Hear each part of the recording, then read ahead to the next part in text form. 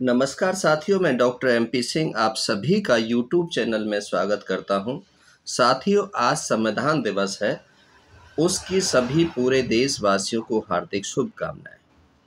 साथियों, संविधान के बारे में तो आप सभी जानते हैं, लेकिन आज संविधान के बारे में बहुत बारीकियों से मैं आपको अवगत कराऊँगा। पूरी वीडियो को सुनना और जो सार तत्व है, उसको आत्मसात करना और अन्य लोगों तक पहुंचाना ताकि औरों का भी भला हो जाए। साथियों, दलित वर्ग में पैदा होने वाले भीमराव अंबेडकर ने बचपन से ही अनेकों यातनाओं को झेला। पढ़ाई लिखाई में अनेकों परेशानियों का सामना करना पड़ा। लेकिन फिर भी भारतवर्ष के सबसे ज़्यादा पढ़े लिखे इंसान घोषित हुए। साथियों, उन्होंने ही इस संविधान को लिखा और लागू किया।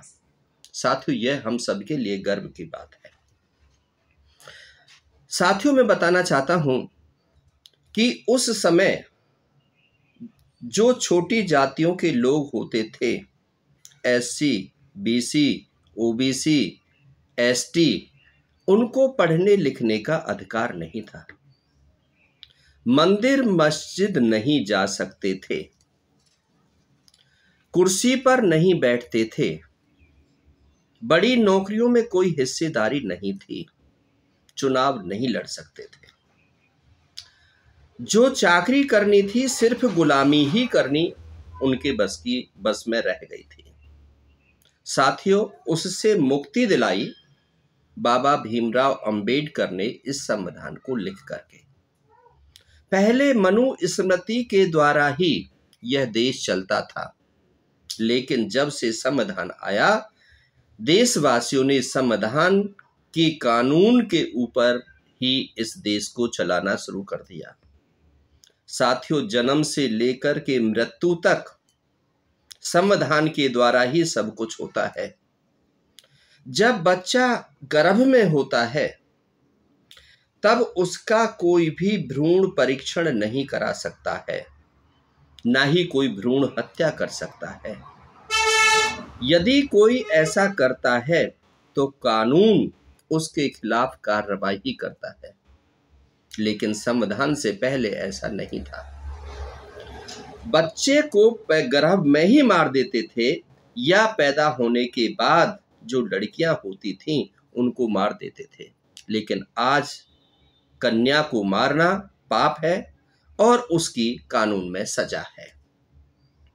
उसके बाद में जैसे ही बच्चा पलता है, बड़ा होता है, पाँच साल का हो जाता है, विद्यालय उसको भेजा जाता है, पढ़ने लिखने का समानता का अधिकार सभी को मिल चुका है।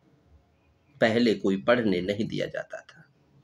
आज पढ़ाई लिखाई में चाहे लड़का है, चाहे लड़की है, दोनों एक ही स्कूल में पढ़ते हैं, एक ही साथ रहते हैं और पहले जो दलित वर्ग के भीमराव अंबेडकर थे, उनको सबसे पीछे बैठाया जाता था। पानी भी पीने की उनकी परमिशन नहीं थी। पानी भी वह ओक लगा करके दूसरे डालते थे तो पीते थे। आज वो प्रथा खत्म हो चुकी है। बच्चे स्कूल, कॉलेज, यूनिवर्सिटी में एक साथ पढ़ते हैं, एक साथ खाते हैं, एक प्लेट में खाते हैं, एक बिस्तर पर सोते हैं। यह सब स्वतंत्रता और समानता, यह संविधान ने दी है साथियों। नौकरियों में आरक्षण करने के बाद में जो छोटे लोग थे, गरीब लोग थे, जो पढ़ लिख नहीं सकते थे, कम पढ़े लिखे लोग थे, उनको आज बड़े बड़े पदों पर बैठे हुए हैं। काबिलियत के आधार पर आईएएस आईपीएस लगे हुए हैं। 18 साल के होने के बाद में वो चुनाव भी लड़ सकते हैं।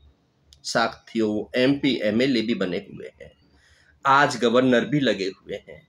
राष्ट्रपति भी और बन चुके हैं। मुख्यमंत्री भी बन चुके हैं। साथियों, ये सब संविधान की देन है। बाबा साहब अंबेडकर के द्वारा निर्मित संविधान की वजह से लोग जज बन चुके हैं। लोग मजिस्ट्रेट बन चुके हैं, लोग वैज्ञानिक बन चुके हैं, लेक्चरर, प्रोफेसर, डॉक्टर बनकर आज अपने जीवन यापन कर रहे हैं।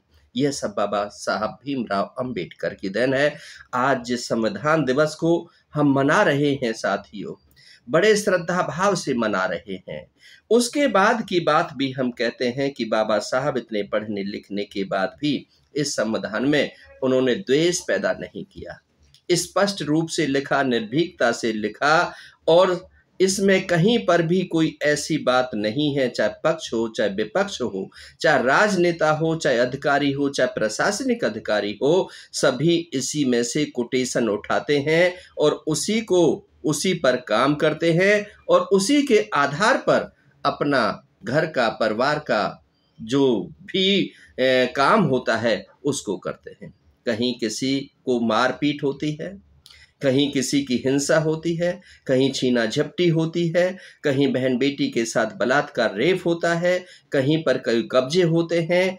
उन सब के लिए बाबा साहब ने कानून बना दिया और हकों की लड़ाई के लिए आज उसी आधार पर गरीब और अमीर सबको न्याय मिल रहा है। साथियों, इस संविधान दिवस पर आप सबके लिए मैं संदेश देता हूँ कि संविधान के बारे में हर बच्चे को बताना चाहिए, घर में संविधान रखना चाहिए और संविधान को पढ़ना चाहिए।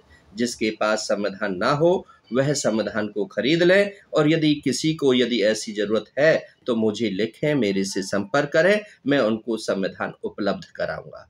इन सब बातों के साथ में उन्हें सभी देशवासियों को संविधान दिवस की हार्दिक शुभकामनाएँ।